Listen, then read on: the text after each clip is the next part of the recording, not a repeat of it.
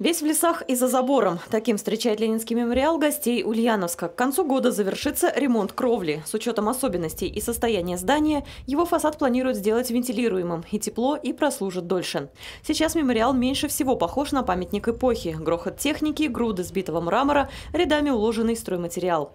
Но несмотря на внешний вид, он остается стратегическим центром будущего торжества. 20 э, год э, данная ситуация тоже будет проходить под целым знаком юбилея и мероприятие уже в январе.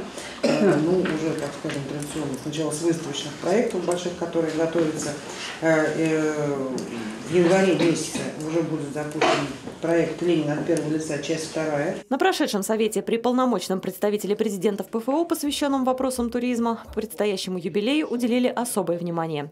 Городу необходимо увеличить поток туристов до 2 миллионов человек. Следовательно, требуются серьезные корректировки существующих программ, как раз связанных с главным брендом Ульяновска. Параллельно э, э, сохранением реставрации памятников – Э, я обратился к президенту Российской Федерации э, с просьбой, э, учитывая исторические значения, юбилейной даты, повышенный интерес к городу Ульяновску со стороны гостей и туристов с разных стран, рассмотреть вопрос о возможности изготовления юбилейной монеты 150 лет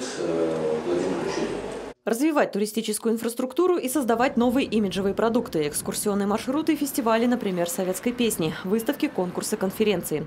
У гостей всех рангов пользуется спросом знаменитая кепка Ильича. Верной дорогой идете, товарищи. Я глубоко убежден, э, что на каждый рубль, который мы потратим на празднование Владимира Ильича Ленина, на туристические маршруты, мы как минимум 10 рублей бюджет получим от возрастающего туристического потока. Это просто объективно.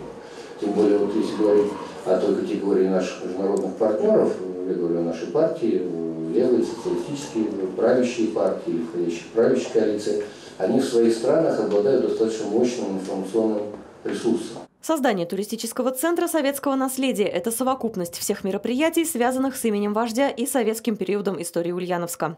Вновь обратились к вопросу реконструкции памятников. Уже готов реестр, составленный совместно с муниципалитетами. А главным мероприятием юбилейной программы наступающего года станет второй международный форум историков, культурологов, философов и публицистов.